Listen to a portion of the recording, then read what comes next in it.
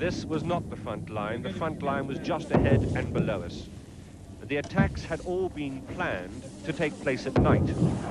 There was too much open ground between the mountains, land without cover for British troops to risk daylight offensives. The night attacks were to be the key factor to our success. We stayed with the Gurkha Signals Company on Two Sisters as Argentine shells came in around us.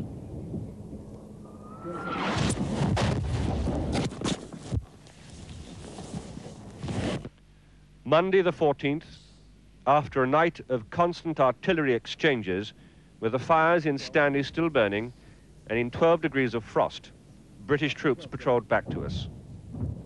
The Scots Guards, they said, had taken Tumbledown and the Gurkhas were advancing on Mount William.